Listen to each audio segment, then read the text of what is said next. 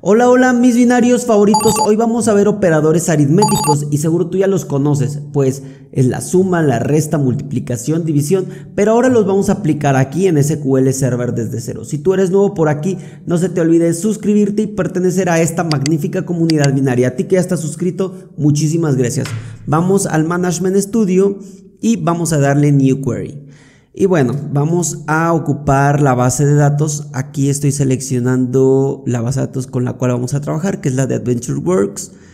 Y vamos a comenzar con la suma. La suma que pues todos, los todos conocemos eh, pues esta, este operador aritmético, ¿verdad? Y es muy sencillo, solo le vamos a dar un select y vamos a colocar eh, más de dos números, dos o más números. Por ejemplo, 2 más 2 y le vamos a colocar un alias que indique que es una suma. Le vamos a dar F5 y así nos hace la suma, ¿no? 2 más 2. Si yo coloco otro más 2, pues va a decir 6. En este caso es muy importante que también aquí se respetan eh, la, la, jerarquía de los signos, ¿no? Por ejemplo, si tenemos algo como esto y le doy una resta, obviamente primero hará lo de los paréntesis y luego hará lo que está fuera de los paréntesis. Entonces siguen esas reglas de la jerarquía de, los, de los signos, ¿ok? De los signos y de los símbolos. Muy bien, entonces ahí está nuestra suma. Vamos a hacer una resta únicamente para no dejar ahí incompleto el ejercicio. Entonces suma, esta es una resta Ahí está. 2 menos 2 pues da 0. Vamos a hacer la multiplicación. Aquí en la multiplicación vamos a ocupar el asterisco. Entonces vamos a darle el alias multiplicación. Le vamos a dar F5. Perfecto. 2 por 2 pues son 4. Y por último vamos a ocupar la división. La división es un slash. Vamos a colocar en el, en el alias división y 2 entre 2, pues es 1, eh, ¿verdad? Ahí están las operaciones, los operadores aritméticos, pues que toda la vida hemos ocupado, ¿verdad? Así de sencillo es ocuparlos en SQL Server. Pero pasa algo bien importante. Por ejemplo, eh, cuando dividimos, por ejemplo, algo como esto, y me ha pasado, 9 entre 2 debería dar 4.5, ¿no? Vamos a darle eh, división, división con decimal. Solo son ejemplos, ¿no? Voy a solo a ejecutar este y pues nos está dando un entero. ¿Por qué pasa esto? Porque no le estamos definiendo el tipo de dato, entonces lo toma como entero.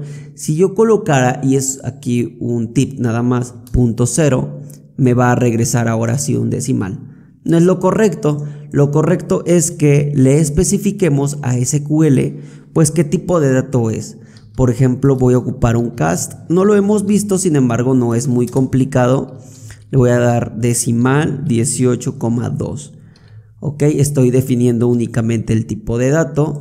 Igual aquí voy a copiar toda esta instrucción. Únicamente voy a cambiar el 9 por el 2 y debería darme el mismo resultado. Ahí está, ¿no? Aquí me está respetando porque yo le estoy dando este formato. A diferencia de cómo se lo di acá, fue algo así como 9 entre 2.0, ¿no? Voy a ejecutar ambos y fíjense, cambia pues los, eh, el número de decimales, ¿no? Bueno, esa es la división. Aparte, bueno, los decimales, división con decimales. También algo bien importante es que nos va a marcar error cuando dividamos y eso eh, matemáticamente pues está incorrecto, pues también en SQL pues va a estar, eh, va a marcarnos un error, ¿no? Vamos a colocarle error porque nos va a dar un error y vamos a ejecutar. Y dice que no puede ser dividido entre cero. Entonces es bien importante que aquí cuando tengamos cero pues hagamos una especie de, de alguna, no sé, podríamos emplear eh, algo así como if esto es igual a cero, digo ahorita porque es algo fijo, ¿no? Pero podríamos colocarle, no sé, si esto es igual a cero, pues eh, colócale un 1, si no lo que tengas en el valor, que es un poquito eh, redundante porque ahorita lo hacemos desde variable y if aquí me está faltando algo. Entonces ya no debería mostrar error debería dar 10 porque 10 entre eh, entre 1 pues da 10 no esto toma sentido cuando podemos declarar no sé una variable. Declare eh, bar no declare number podemos darle number declare number as int y vamos a declarar un 0 number. Entonces aquí me está faltando el arroba y reemplazamos esto no entonces si es un 0 va a tomar la misma condición. Cuando tomo un 10 entonces va a decir 10 es igual a 0 no entonces pues vas a dividirlo entre este no es un poquito más este complejo aquí pero de esta manera podemos evitar que lo divide entre 0 también podemos, o podemos tener esto, estas variantes, ¿no? Y vamos a verlas todas. De la división, podemos, por ejemplo, 10 entre 0 ya sabemos que nos va a dar un error. ¿Qué pasa si divido 50, 50 entre nulo? Me va a dar nulo. Nulo entre 50 me va a dar nulo. ¿Y qué pasa si le doy 0 entre 10? Pues me va a dar 0. ¿no? Son todas estas variantes que deben considerar cuando hagan estas operaciones eh, o así operaciones matemáticas utilizando los operadores aritméticos, la suma, resta, división y multiplicación. Como les digo, se da a tomar en cuenta aquí los paréntesis, el orden jerárquico. Vamos a hacer un poquito más complejo, esto fue eh, pues únicamente sin hacer ninguna referencia a ninguna tabla, pero lo importante aquí es que hagamos alguna referencia a la tabla, ¿no? Que es lo que vamos a estar haciendo usualmente cuando apliquemos este tipo de, operadores. Vamos a ocupar una tabla que se llama Purchase Order Detail. En tablas, la, la base de datos que estoy ocupando es AdventureWorks. Voy a filtrarlo y voy a filtrarlo por Purchase Order Detail. Purchase Order. Nada más le voy a dar así, clic en OK. Se está filtrando y voy a ocupar esta tablita. Perfecto, le voy a dar un select asterisco from y voy a utilizar pues toda mi tabla para ver el landscape de todos los campos que tengo y columnas. Muy bien, tenemos aquí algo que eh, nos va a servir de mucho, que son valores numéricos, decimales, que pues es, la finalidad del video. Bueno, vamos a ocupar, para no tener todos estos datos aquí, todas las columnas, pues vamos a ocupar los que nos interesan, ¿no? Vamos a colocar un alias aquí y le voy a decir que es POD porque es Purchase Order Detail. Eh, mi alias punto. Y qué campo necesito de aquí pues requiero el Purchase Order Detail únicamente como referencia qué más voy a necesitar le doy coma POD y voy a seleccionar el campo em, que sería bueno el product, product ID para saber cuál es el producto y el line total, que es el, ahorita les explico a qué se refiere el line total. El line total lo que hace es va a multiplicar 50 la order con el unit price. Vamos a verificar si eso es correcto. Entonces vamos a verificar el primer eh, registro. 4 por 50.26. Entonces son... Em, ah, me faltó aquí. 4 por 50.26 son 201,4. Aquí, como es una base de datos eh, de Microsoft, seguramente está en dólares. Entonces son 201.04 dólares. Muy bien, entonces eso regularmente, este line total, digo, sí está bien, pero podríamos evitarlo. Por ejemplo, voy a ejecutar nuevamente entonces aquí tenemos que mi producto 1 pues hace la multiplicación, ¿verdad? Dijimos que da un total de 201. Pero ¿qué pasa? Voy a seleccionar los otros campos solo para tenerlos como referencia. POD y es quantity, order quantity. Y luego voy a seleccionar POD.price, uh, unit price. Muy bien, ahí está. Entonces esta multiplicación me da esto. Pero yo podría evitar este campo porque lo puedo calcular. ¿Cómo lo puedo calcular? Pues con una multiplicación. ¿Cómo lo haría? Pues selecciono el quantity order por unit price. Y así estaría calculando de manera eh, automática cada vez que ejecute este query. Y le voy a poner line total calculado. Solo para diferenciar que este es igual a este, entonces no va a variar nada porque estoy haciendo la misma, la misma operación, pero pues obviamente aquí estoy empleando una multiplicación.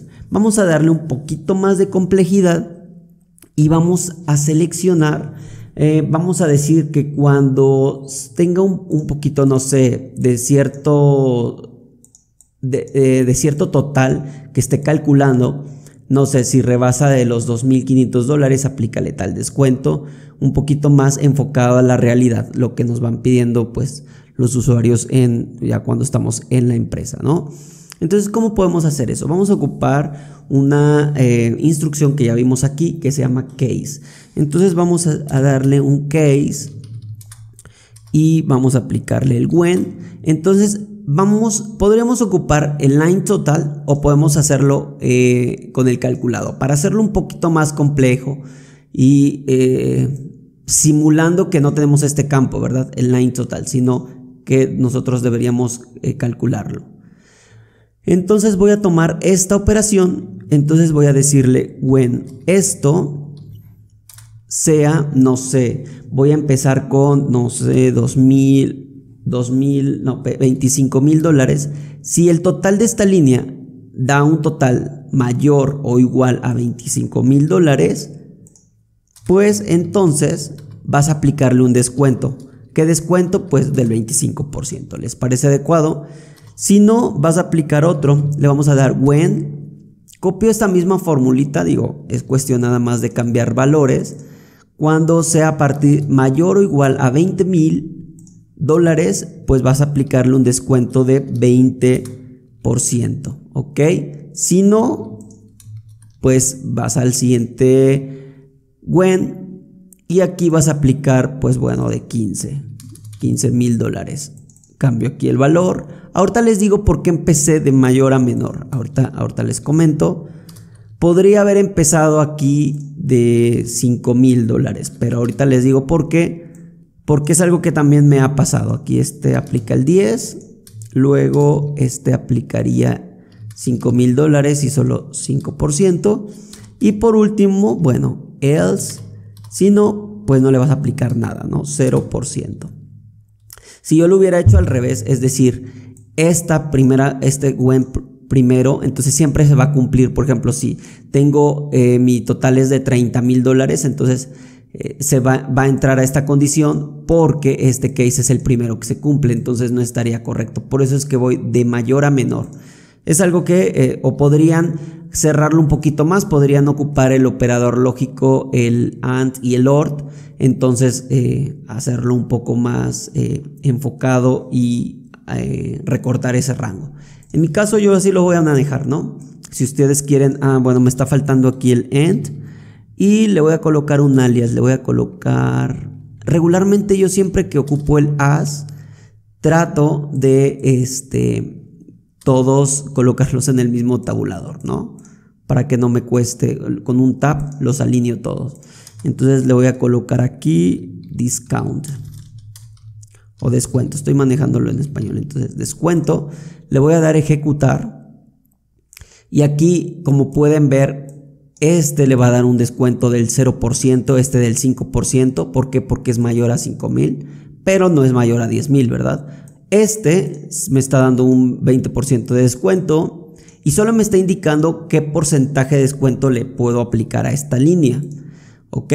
Pero, ¿cómo le aplico ese descuento? Aquí ya está mi, mi campo calculado de decir cuánto debería aplicarle el descuento. Pero ok, voy a agarrar este mismo case porque me va a servir. Y entonces le voy a decir total con descuento porque ya voy a aplicar el descuento, muy bien, pero aquí no voy a estar regresando una cadena, sino voy a estar regresando pues ya la operación. Muy bien, entonces total descuento. Voy a aplicarle así, solo voy a, a ver cuánto voy a descontarle de mi total. Muy bien, entonces ya sé que por default el else va a cero. Y entonces, ¿cómo voy a calcular mi descuento? Pues bueno, es súper simple. Voy a eh, copiar esta misma operación que estoy haciendo, que es la multiplicación, y voy a darle por 0.025, si no mal estoy. Entonces, esta no solo estoy confirmando, sí, 0.025, así es. Y aquí, pues nada más copio y pego, este sería 0.20, copio y pego, ah, bueno, ya lo tengo copiado, nada más sería cuestión de pegar, 0.15, 0.10, perfecto, voy a ver si está aplicándose correctamente y le voy a dar ejecutar. Voy a darle ejecutar y perfecto, ya, ya se está ejecutando ahí mi query y por ejemplo del 5% pues me va a aplicar un descuento de 44 dólares, ¿no? Este de 407 porque está aplicando un 20%. Solo voy a corroborar, por ejemplo, el porcentaje de este, de este total. Son 20.397 dólares punto 30. Ok, y le voy a aplicar un descuento del 20%. Entonces le voy a dar punto por punto 020. Ok, son 407. Pues se encuentra bien el porcentaje, ¿verdad? Pero ese es el, el descuento que le quiero aplicar al, a este campo calculado. Entonces se vuelve un poquito más complejo. Fíjense, porque entonces ya sé que este es mi descuento y espero no confundirlos. Entonces voy a copiar todo esto que es mi, eh, por así decir, mi line total calculado. Le voy a, dar copiar y fíjense lo que voy a hacer. Le voy a dar pegar y le voy a restar esto. Y aquí sí le voy a aplicar otro paréntesis porque toda esta operación pues la tiene que hacer y después de que hace esta operación es lo que debería restarle a esto. Muy bien, entonces de esta manera voy a copiar, entonces ya que tengo aquí como mi base y sé que ya está correcto, después solo es replicarlo. Voy a cambiar eh, mis porcentajes 0.20, 0.15, 0.10 y 0.05.